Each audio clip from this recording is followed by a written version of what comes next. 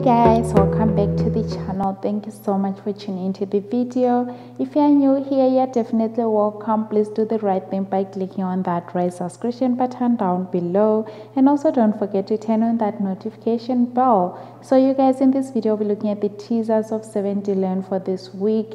On monday the 4th of july augusta cautions will to keep out of his parents business.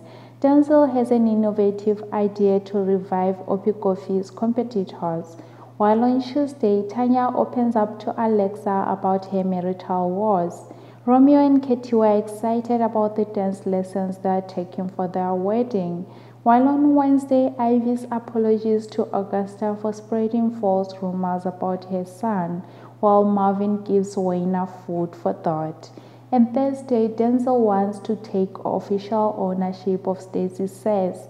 Tanya and Alexa has been through a lot respectively and decide that a night out will do them good. And finally on Friday, Mariam and Amory have a warm mother and daughter moment. Augusta flirts with duet which Bonita finds amusing.